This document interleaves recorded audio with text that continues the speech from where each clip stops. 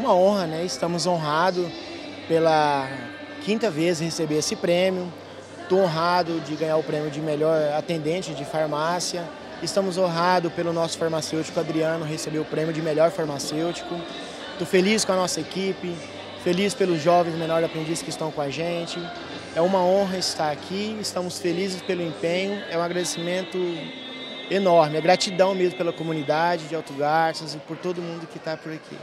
Ajudar a cuidar da saúde dos autogarcenses, né? Sim, ajudar a cuidar, levar a saúde na casa das pessoas, isso é muito importante. A gente sempre diz, é nossa missão é cuidar de vocês, fazer o diferente, né? É, levar saúde com qualidade, com preço justo, né? Isso é muito importante.